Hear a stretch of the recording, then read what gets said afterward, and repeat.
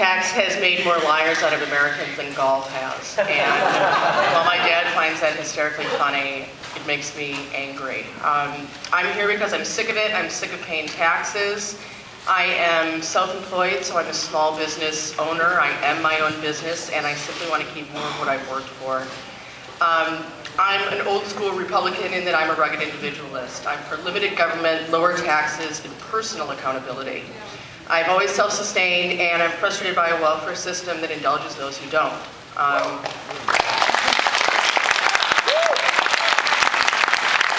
I think it's tremendously ironic that we're a country that was founded to avoid taxation, but we're now taxed to death. Um, I also think it's funny that liberals feel a debt to their fellow man, but they want to pay with my money and your money.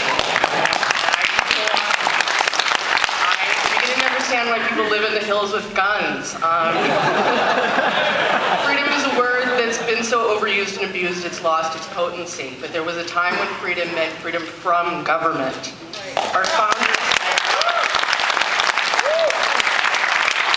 Please don't tread on me. That's a Republican ethic. It's the Republican ethic. Let's get back to it. Thanks for your time.